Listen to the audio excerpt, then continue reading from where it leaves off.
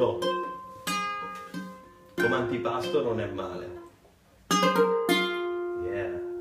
Ma, Ela, per il 25 invece cosa ci hai preparato?